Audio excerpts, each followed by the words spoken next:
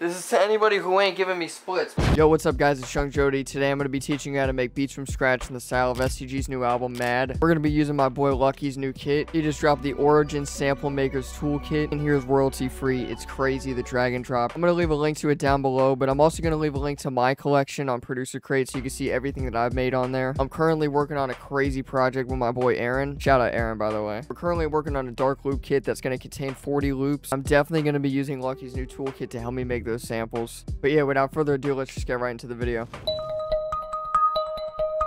This is something that uh, I wonder why people don't do it more often, but you can really just put a halftime on any ARP and it sounds pretty good. This wouldn't be good for like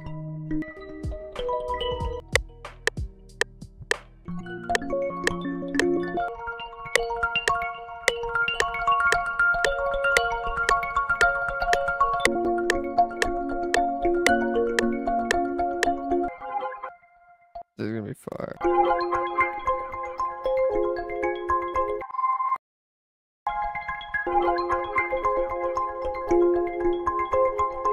This is so far.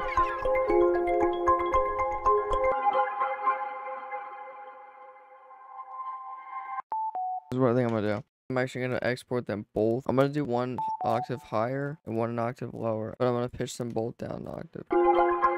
Just to give them that mangled feel.